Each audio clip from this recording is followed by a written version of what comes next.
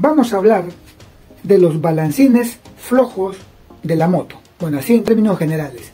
Yo tengo acá una culata. Esta es una culata de un motor de 200 centímetros cúbicos. Y como tú puedes ver aquí para mostrarte, tengo lo siguiente. Atento, escucha. ¿Escucha o no escuchas? Correcto. Balancines flojos es el tema de este video. Atención. También hemos hecho, bueno, un dibujo. Claro, un dibujo eh, acá tengo dos balancines que ahorita te voy a explicar por qué lo he colocado de esta manera. O mejor dicho, dos válvulas, te voy a explicar en este momento. Y tenemos tres puntos que vamos a ir desarrollando poco a poco. También hemos colocado aquí eh, los cuatro tiempos, que todo va a tener su explicación en este momento. Eh, nosotros tenemos que tener en cuenta que en este caso los balancines, ¿no? son estos elementos que están aquí, claro, estos accionan sobre las válvulas y como tú te das cuenta tenemos en este caso la válvula de admisión, la válvula de escape. Aquí está el motor, admisión y el escape eh, evidentemente para donde sale el tubo de escape. ¿Ok? Ahora bien, estos balancines accionan sobre las válvulas y son los encargados, por así decirlo, de efectuar o hacer que se efectúen los cuatro tiempos en la moto. Para los que no saben cuáles son los cuatro tiempos, admisión, compresión, explosión y escape. Porque es una teoría breve con respecto a los cuatro tiempos. Ahora bien, entonces, ¿qué ocurre si en la moto tienes los balancines flojos? Ahora te lo explico. Atención, o escucha esto. ¿Se escucha o no se escucha? Ya. Un primer elemento está relacionado con el sonido. Tenga en cuenta que los balancines flojos, cuando una moto tiene los balancines flojos, se siente. Eso, eso se siente. Tú mira, ponte a escuchar en la calle cuando pasa una moto, escucha en la parte de arriba, por ahí brota el sonido. Pero claro, cuando ambos están flojos sale un, este, ambos lados, ¿no? En cambio este tiene uno flojo y el otro está, apretado. ¿Ya? ¿Por qué se aprieta?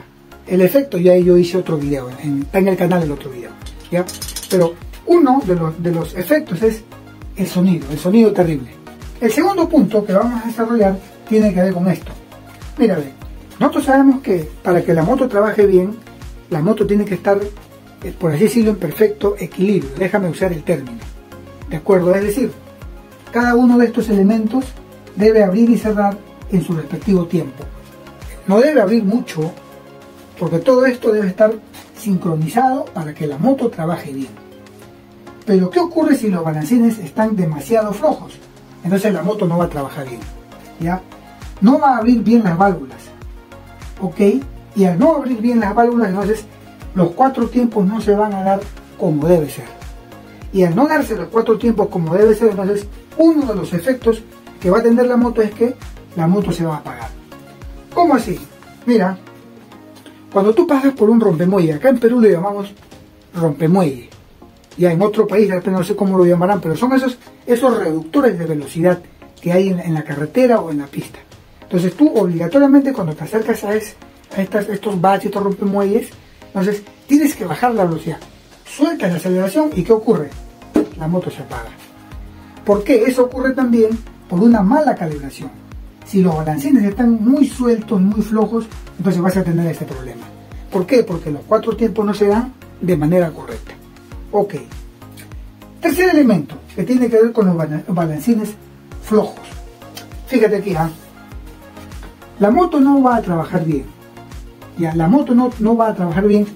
¿Por qué? Por lo que ya te expliqué anteriormente. Como las válvulas no están abriendo y cerrando como debe ser, ya entonces la moto va a perder fuerza. La moto va a perder fuerza. Tú tienes que tener en cuenta, por ejemplo, que en la misión, en la misión, ¿qué cosa va a ocurrir? Mira, en la misión, eh, el pistón baja, ¿sí o no? Baja. Pero para que el pistón baje y entre en la mezcla, este, este de aquí tiene que abrirse. Esta es la misión. Tiene que abrirse aquí. Pero si el balancín está muy flojo, entonces esto no va a abrir bien. Recuerda que estos, claro, esto está dibujado así de esta manera, pero esto empuja. Esto empuja y el resorte hace que se regrese. Entonces, como no abre bien, entonces no se da bien. No se da bien la admisión. ¿Te das cuenta? Entonces, detalles que nosotros tenemos que tener en cuenta cuando los balancines están flojos. No va a trabajar bien la moto. Mira, por este lado por este lado yo he colocado aquí un balancín. Ya, un balancín. Esto, ojo, para que la moto trabaje bien, tiene que estar bien calibrado. Tú tienes que seguir un procedimiento de calibración. ¿Ya? Entonces, claro, yo en el canal ya tengo un video donde hemos enseñado cómo calibrar correctamente los balancines. Hay que seguir un procedimiento, colocar en la letra T, asegurarte que se encuentre el pistón en el punto muerto superior y cosas por el estilo. Pero tiene que estar bien calibrados los balancines para que la moto trabaje bien. Entonces, eh, tú aquí tienes un balancín, ya un balancín que acciona sobre la válvula, en este caso, de admisión. ¿De acuerdo? Entonces, ¿qué pasa cuando el balancín está bien sellado aquí? Entonces, aquí se da una buena compresión. ¿Ya? Pero esto tiene que trabajar bien, como debe ser. ¿Ok? En, cambio, si este de aquí está demasiado flojo, entonces esto no va a abrir bien. ¿Ya? Y a la hora de que entre la mezcla carburada no va a ingresar bien tampoco, en la cantidad que debe ser. Importante entonces una buena calibración de los balancines. Por este lado surge la pregunta, ¿por qué se aflojan los balancines? Mira, hay varias razones por las cuales se aflojan los balancines, pero ese tema yo lo, desarrollo un poco más a profundidad en otro video. De todas maneras te voy a, te voy a dar una, una de las posibilidades por qué se aflojan.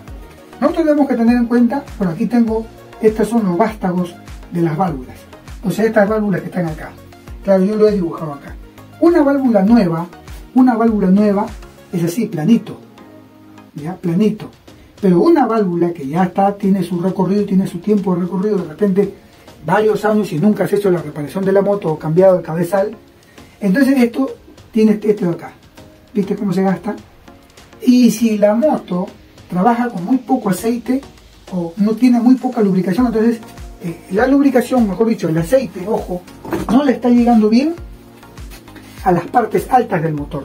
Y al no llegarle bien a las partes altas del motor, entonces ¿qué va a ocurrir con esto? Va a tener un desgaste prematuro. Por esa razón, tú calibras los balancines, no pasa un tiempo, o pasa un tiempo relativamente corto y nuevamente se aflojan. Y nuevamente suena eso como, como matraca, arriba en el cabezal de la moto. ¿Te das cuenta?